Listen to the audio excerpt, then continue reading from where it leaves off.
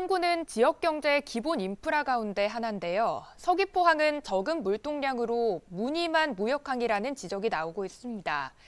게다가 서귀포와 다른 지역을 잇는 백길도 수십 년째 취항이 이루어지지 않고 있습니다. 이 소식 허은진 기자가 취재했습니다. 외항선에 입출항이 가능한 도내 두 곳의 무역항 가운데 하나인 서귀포항입니다. 화물과 컨테이너가 낮은 높이로 쌓여 있지만 무역항이라는 기능이 무색하게 한산하기만 합니다. 서귀포항은 주로 국내를 운항하는 배들이 드나들고 물동량도 많지 않아 무역항의 위상이 흔들리고 있습니다. 지난해 서귀포항의 물동량은 45만 톤. 도내 무역항과 연안항의 선박 물동량 2,255만 톤의 2% 수준입니다. 연안항인 애월항과 한림항 물동량의 절반에도 미치지 못하고 성산항에도 뒤처지면서 꼴찌를 면치 못하고 있습니다.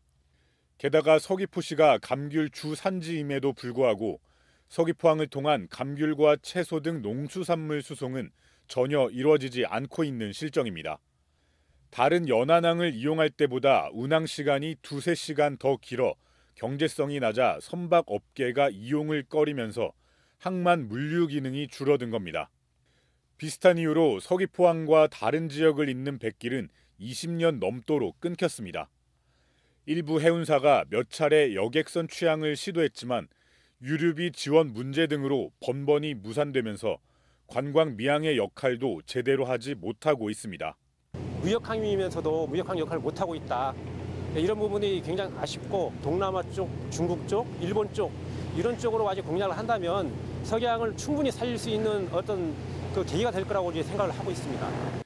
서귀포항이 사실상 제 역할을 하지 못하고 있는 만큼 지역 경제 인프라 기능 활성화를 위한 물류량 확대와 여객선 유치 등 다양한 활용 방안 마련이 요구되고 있습니다.